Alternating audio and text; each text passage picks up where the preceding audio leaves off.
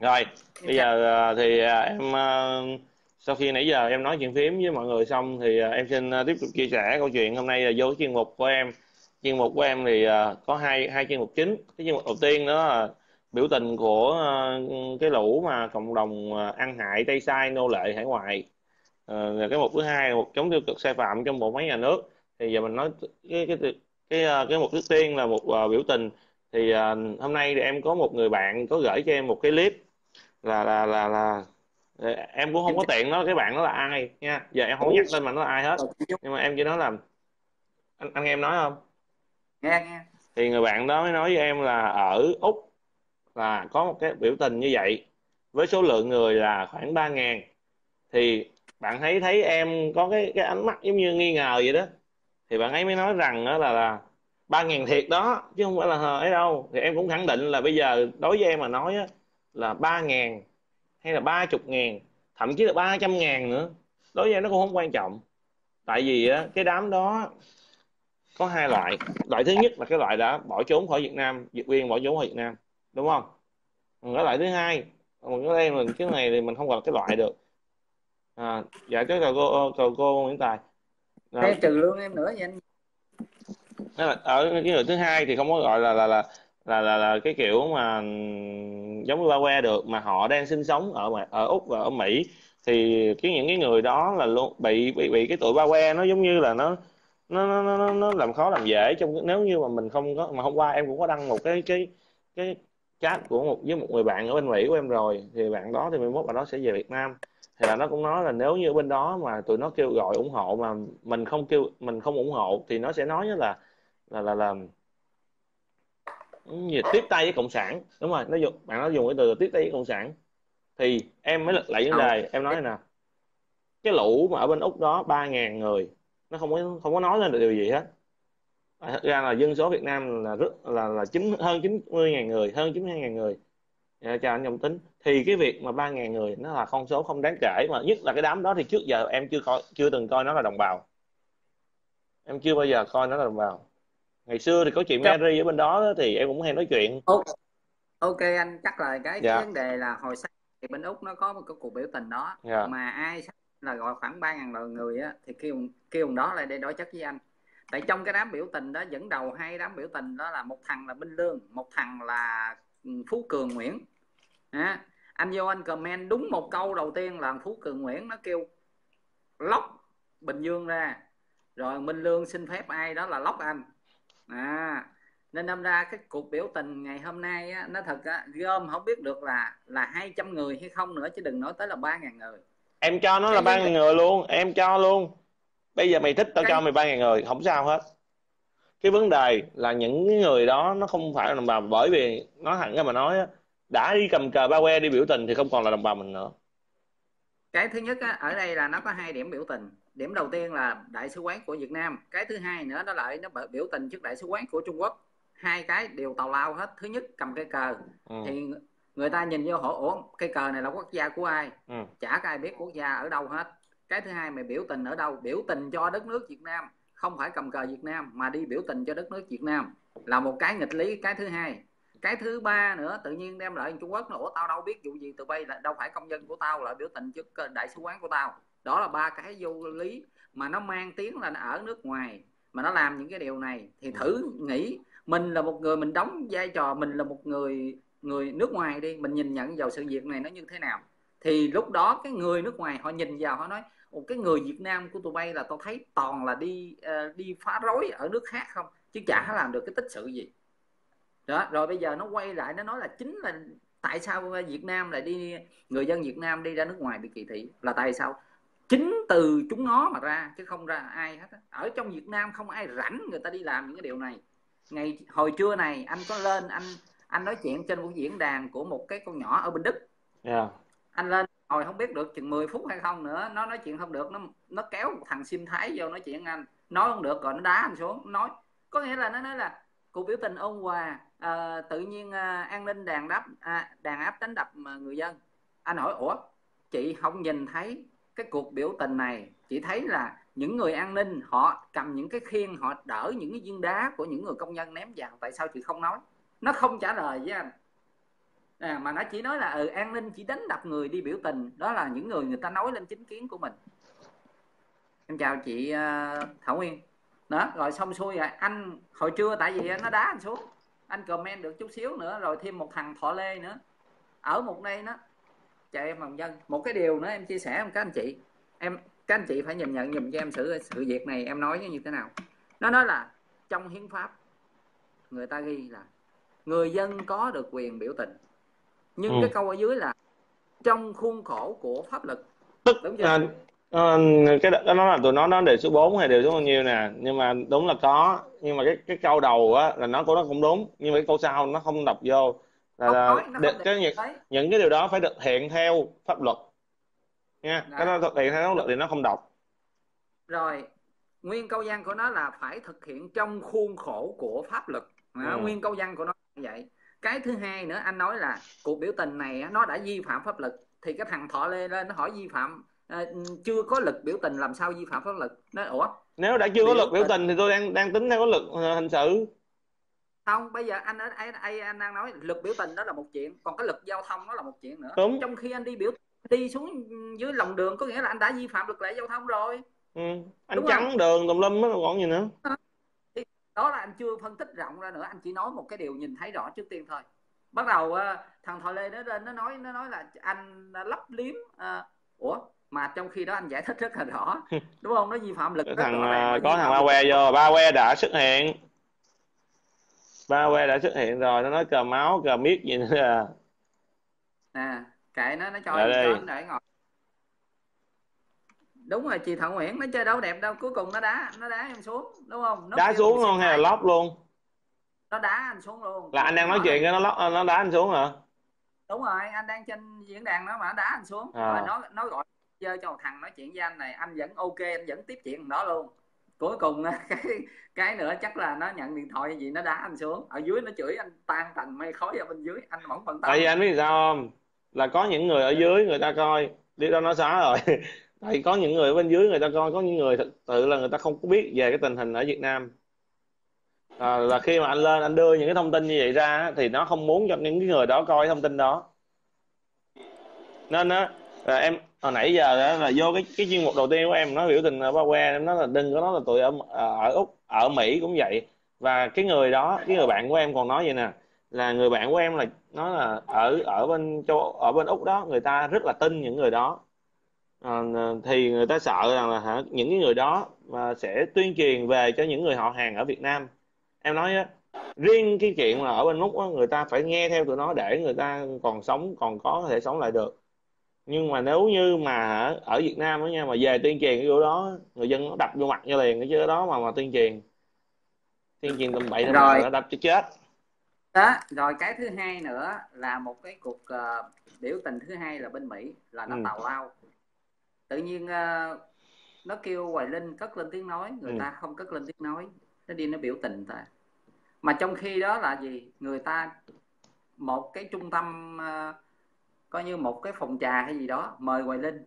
Họ họ một cái điều mà họ nó thật sự luôn nha. Nó đứt sợi dây ngượng mất rồi. Ừ. nó không biết còn sỉ, sỉ nhục là gì cả. Bước vào cái diện tích của người ta người ta đuổi đi ra ngoài kể cả đậu xe trong cái khuôn viên của người ta người ta không cho luôn. Đó. Mà nó dẫn đi ra ngoài cầm cái lo đứng cách xa nếu mà theo tính từ cái con Mimosa mà đến cái cửa kia chắc khoảng độ phải tính là khoảng là hơn uh, ờ, 200 mét mà nó đứng bên ngoài nó nói vô. Mà mình nhìn cái kiểu ờ, tụi nó nó thật giống là một cái nhóm điên hơn là cái người đi biểu tình. Đó mà không hiểu cái tư duy của tụi nó đặt ở đâu cái sĩ diện của mình đặt ở đâu. Ừ. mà trong khi là cái bên kia ở bên trong đó là người ta treo cờ ba que nữa nha. Đó, trong cái trong cái uh, Diamond Club đó là người ta treo cờ ba que treo cờ ba que. Treo cờ ba que nhưng mà nó vẫn đi biểu tình mà biểu tình chống Hoài Linh đó một cái điều cái điều rất là phi lý không đó ừ. kể cả anh nói trong nè anh nói là so sánh cái cuộc biểu tình đó với so sánh cái cuộc biểu tình tại Việt Nam đi trong cái khuôn viên của người ta đậu xe nó còn không cho nữa mà ừ. nó còn phải leo lên trên cái lề nó đứng thôi chứ nó còn không đứng được trong cái diện tích đất của người đó ta. mà mà mà nó là nó cũng tra cái bài là giống như là là là là, là, là Ờ, à, biểu tình ôn hòa. Mà nó nó so với vi- ở Việt Nam là biểu tình ôn hòa. Cũng chịu nó luôn. Chào anh Minh Hằng. Quảng sợ quảng sợ anh Minh Hằng ơi quảng sợ. Hả?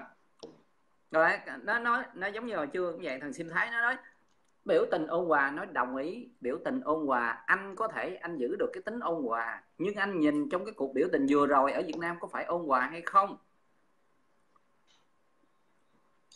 Đó nhưng mà lúc nào chữ ôn hòa ra nhưng mà trong khi đã cà phê không đường để hồi nó tôi gửi cái link cho ông coi. Cái link đó thì à, tôi có. À, tụi nó à, tụi nó muốn ờ, giống như là tạo áp lực lên ờ, các nghệ sĩ khác để mà, lấy cái tiếng nói của nghệ sĩ rồi thu hút fan để mà chống đối lại chính quyền nhưng mà thật ra mà nói á nghệ sĩ Hoài Linh cũng không phải không phải là nghệ chỉ nghệ sĩ Hoài Linh mà tất cả các nghệ sĩ ở trong nước. Người ta cũng thừa hiểu ra cái việc là hả nghệ thuật làm nghệ thuật là một chuyện nếu như mà kêu gọi được mọi người yêu nước thì tốt. Còn nếu như mà anh kêu gọi để mà chống phá lại đất nước á, là anh tự anh tự anh làm mất cái lượng fan của anh thôi. Tại người dân nếu mà cần thiết người ta yêu nước nhiều hơn. Có một nghệ sĩ anh người ta mến mộ nhưng mà nếu không có anh thì sẽ có những nghệ sĩ khác. Chứ không phải là Đơn theo anh nó... để mà anh chống đối chính quyền. Đất lành chim đậu. Đúng rồi. Nếu nước Việt Nam mình người dân không có uh, tiền đất nước không phát triển thì tất cả nghệ sĩ về Việt Nam để làm gì? Ừ. nếu mà nói về ở trong đây là có một bản thân là bây giờ gần gần nhất nè gần nhất mà em thấy là là đã từng là phải lên tiếng là nói à, nghệ sĩ cải lương Chào gì à, gì à, Huyền á Ngọc Huyền phải không? Ngọc Ngọc Huyền. À. ngày xưa là trong ừ. cộng không qua bên đó mới dở trò chống cộng thôi. Thì qua bên đó rồi qua bên đó Thu Phương nè đã từng có những cái phát ngôn không đúng nè. Bằng kiều nè đó. Rồi à, mình nói luôn những cái cái ờ, gọi là những cái nghệ sĩ mà ngày trước kể cả Khánh Ly luôn tại sao người ta vẫn về được Việt Nam?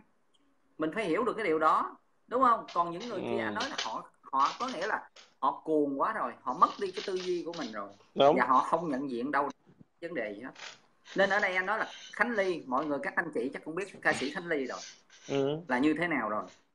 Nhưng mà đó, mà tại sao nhưng mà ở Việt Nam á thì nói thẳng ra nói đó nhà nước luôn mở rộng vòng tay đón những mà bà con kiều bào ở hải ngoại về. À, nếu như mà đã có là mục tiêu là yêu nước và muốn đất nước phát triển thì về Việt Nam Việt Nam vẫn đón nhận. À, rồi á gần đây nhất nữa đúng không? Là một cái người gọi là bây giờ nói vấn đề là sợ gì Việt Nam bị giết đúng không? Ừ. đây ông Nguyễn Ngọc Lập. Đó. Ông về ông đó là nói nó là, là ông ông đã từng ở uh, uh, đó là thủy quân lục chiến nè à. Hoặc là nếu nó mà bây giờ ông nói là ông không có nợ máu hay gì không chuyện đó là chuyện không biết còn chuyện ngày xưa ông có nợ máu hay không? Là sao mình biết ừ. được đúng rồi. Nhưng mà bây giờ bây giờ ông có nợ máu hay không chính quyền vẫn tiếp đón ông mà một người như một người Việt Nam bình thường. Thì ông muốn trở về quê hương nó nói là quê hương là chùm khế ngọt mà đúng không? Ừ. quê hương mà ai không nhớ thì sẽ không lớn nổi thành người. Đó vậy thôi. Đó, rồi bây giờ á riêng mình nói thêm một cái nữa đó bây giờ họ nói họ quay về họ nói họ yêu đất nước Việt Nam họ thương con người Việt Nam. 8.600 người bị trục xuất. Đến bây giờ cái đài BBC tiếng Việt họ còn lên họ họ mở lên họ nói thì những con người này có khi nào nhắc đến những người đó hay không? Rồi. Chứ đừng nói chi họ quay về Việt Nam chi nó quá xa xôi. Ông ông hả? Ông lập là, là là ngày xưa là ông chống cộng phải nói là chống cực kỳ chống mà họ nó chống ghê lắm luôn á. Ổng mà nói ổng nói đến là nghe đến chứ ông chẳng ông không thèm nghe gì hết. Nhưng mà rồi sao? Rồi khi ổng về Việt Nam ổng tự nhìn thấy những cái sự phát triển của đất nước nha. Mà ổng tự nhìn thấy luôn cả cái chuyện mà Hoàng Sa Trường Sa đó. Là dù Hoàng Sa thì đã bị mất từ cái Việt Nam Cộng Hòa rồi. Còn Trường Sa là hả, biển đảo của mình thì hải quân của mình đang là chứng giữ và đang ờ, mở rộng vùng cái cái cái, cái, cái bồi, đang bồi đắp thêm nhiều thứ nữa nên là chính là ổng tự nhìn thấy. Còn ổng về nếu mà nói về tình người thì cho ổng về thăm cái nghĩa trang bình an uh, đã có 16 ngàn cái ngôi mộ liệt sĩ ngôi mộ không phải liệt sĩ nhưng cái liệt sĩ không đúng. Ngôi mộ của những cái uh, chiến sĩ của Việt Nam Cộng Hòa là một thời chung lý tưởng với ổng. Thì ổng nhìn thấy đó là những cái ngôi mộ đó cũng là là, là, là kinh phí cũng là do từ từ uh, chính quyền địa phương người ta bỏ ra thôi ổng tự ổng nhìn thấy tất cả là vô mắt ổng không thể nào mà mà, mà ổng từ chối được không chối từ được. Ông về ông phải có cái nhìn khác về Việt Nam. Bây bây giờ á để để anh sẽ post lên cái bài của BBC tiếng Việt á họ họ nói cho. Tại trong đây có một cái bạn là Bùi Bùi Thi uh, uh, là là các bạn đó làm bên A là là cái trung tâm gì đó có cái, không, cái không, không, anh anh anh anh. Không có nói vậy không có nói vậy anh cứ post okay. lên thôi anh post lên thôi đừng đừng đừng đừng có nói ra như vậy à anh sẽ post lên để mọi người không cái này là trong cái BBC tiếng Việt. Ờ anh post lên BBC tiếng Việt thôi. À, đừng có nói đừng có nói thông tin kia anh hiểu không? người ta nói về những cái người cái gọi là cái à, cái chia sẻ của những người người ta làm. Người ta cảm thấy xót xa cho người Việt của mình. đúng. Người Việt của mình hiện tại về chỉ mới được có mười mấy người thôi. Còn thằng Campuchia nó đã 100 người nó đi đi về rồi. Mexico cũng về rất là nhiều rồi Trung Quốc cũng có nữa chứ không phải là riêng riêng Việt Nam không đâu. Nhưng bây giờ cái vấn đề ở đây là gì? Trên đó nó chia sẻ là có một cái anh chàng đó ảnh có vợ có con ảnh là đi ảnh có nghĩa không dám làm một cái điều gì để mà sai cả. Ảnh đã bị bắt một lần ừ. bị tạm giam 3 tháng rồi. Ổng vô trọng ổng kể lễ hoàn cảnh của ổng cũng nhờ được những người người ta ấy người ta giúp ổng đi ra ngoài ổng đi làm để ổng nuôi ừ. con ổng. Ổng không dám nói với con ổng là ổng bị như vậy mà ổng nói là ổng nói với con ổng ổng đi làm xa. Đó, những người mà em nói ở đây các anh chị làm cha làm mẹ nghe một câu nói rất xúc động cho người ta không? Nó nói là ổng nói với con ổng là ổng đi làm xa chứ ổng dám nói ông bị bắt. Rồi đến bây giờ khi bảo lãnh ông ra được rồi bây giờ ổng bị bắt lần thứ hai nữa mà lần này là nó nhốt ổng luôn rồi. Ừ. là nó chỉ đợi ngày nó trục xuất ổng về. Thì bây giờ ổng đang ổng đang kêu gọi ở bên kia có những người nào giúp không thể nào giúp được có giúp là giờ cho vợ con ổng về chung ông làm sao vợ con về chung với ổng. Không có kiểu nào à. giúp được hết tại bây giờ không bây giờ cái chính sách hình như là sẽ con thì giữ lại nhưng mà cha mẹ thì hình như là cho về đó. À, rồi các anh chị nhìn thấy ở cái kiểu đó như thế nào? Bởi vì những người đó thay vì bây giờ là nếu gọi yêu thương yêu như thương cái những người đồng loại của mình ở bên kia đi giúp họ đi thì tốt hơn quay về Việt Nam. Bây giờ quay Việt Nam làm được cái điều gì? Chả có được điều gì hồi trưa trên cái diễn đàn đó anh hỏi ông kia anh hỏi giờ nói tóm lại anh xem trong cái cuộc biểu tình kết quả được cái gì hay không? Ừ. à ổng lại nói miên man ờ, kết quả là là bây giờ cái tiếng nói mình để mình nói mình có nghĩa là ổng nói là mình biểu tình để mình nói cái chính kiến mình để cho chính phủ nhưng mà cuối cùng mình nhận được cái câu gì? Mình cuối cùng mình nhìn được ờ, là cái tiếng nói của mình nó có được cái giá trị hay không? Hay là cuối cùng cái giá trị con người của mình người ta còn xem tệ hơn nữa hồi hồi chưa anh anh chỉ hỏi mấy câu thôi. Cái bà trên diễn đàn bà không trả lời được. Sao à. gọi kia lên chạm trang ở đầu ừ, tay khoan khoan anh lữ đoàn nha. À, nói chung là chị thanh mai đó chị là bạn của em nha. À, nói chung là, là chỉ là chống bao que. Thì à, cái những cái việc mà còn từ thiện không từ thiện á, thì à, người ta làm hay không ta làm người ta biết. Nó là từ thiện là từ tâm. Mình không ngồi mình moi móc có những người ta làm người ta cũng không muốn nói đâu. Nên anh cũng không có cần phải moi rõ ra là từ thiện nó làm những cái gì. Em mong là đến chuyện đến đây là dừng lại sau cái câu cái comment của anh vừa rồi là dừng lại và chị Thanh Mai cũng dừng lại để cho cái diễn đàn của em có thể nói đến những cái chuyện người ta có thể coi đến những cái chuyện tụi em đang nói. À, không có tranh cãi những cái chuyện bâng quơ ở đâu nữa hết.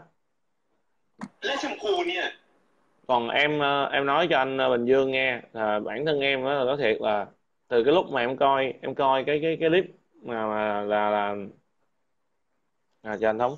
À, cái clip mà mà là thứ trưởng Nguyễn Thanh Sơn đó thì à, đưa cái đoàn về năm 2014 về thăm Trường Sa đó. Thì cái lần đó là cái lần mà vào à, thăm nghĩa trang bình an. Nó thật với, với anh là cái phần nghĩa trang bình an đó thì em cũng chỉ nghe nói thôi chứ em chưa bao giờ em nhìn thấy tận ở trên YouTube hết em cũng không có dò coi. Thì đến hôm đó em giờ đến hôm đó em coi thì em mới thấy là nếu như mà không có cái sự quan tâm của chính quyền địa phương cũng như là cũng như là lãnh đạo đảng và nhà nước chính quyền địa phương thì làm gì mà cái nghĩa trang nó còn tồn tại được đến bây giờ? Chính xác vậy. và nếu nói thêm một cái nữa là nếu như các anh các anh ở AWE bên nước ngoài mà các anh bây giờ đang mặc những cái bộ đồ mà lính thằng ri rồi mấy anh ngồi trên những cái chiếc tàu xe máy xe ô tô á nó thì anh anh khi mà mấy anh nói về chống phá nước vậy anh anh có nghĩ đến những đồng đội của anh đang nằm ở Việt Nam vậy không? Có bao giờ các anh kêu gọi các anh quyên góp làm cho cái, cái ngôi mộ của đồng đội các anh một cách trọn vẹn đẹp đẽ chưa? Nó tốn không bao nhiêu hết theo cái lúc đó em coi thì là một triệu một ngôi mộ. À, lần đó là thứ trưởng Nguyễn Thanh Sơn bỏ ra 5 triệu. Đó rồi ông Nguyễn Ngọc Lập bỏ ra một ha một trăm một trăm đô. Ông gì đó bỏ ra 100 đô nữa và mọi người khác. Trong đó có bà Tề Tâm bà nói là bà, bà không tin những cái thằng ở bên đó nữa. Ừ. bà muốn là ở chính mọi người có thể lên YouTube để coi. Là bạn muốn là chính phủ Việt Nam có thể đứng ra để làm. Nhưng mà khi khi đó thì à, thứ trưởng Nguyễn Tân Sơn cũng nói là không chính phủ Việt Nam không có nhận cái đồng những cái đồng tiền này vậy bởi không muốn mang tiếng anh hiểu không? Đó còn nếu như anh chị có thể liên hệ được với ai làm ở đây để người ta làm thì anh chị liên hệ với còn chính phủ Việt Nam là không có kêu gọi lấy tiền để làm mọi chuyện đó được.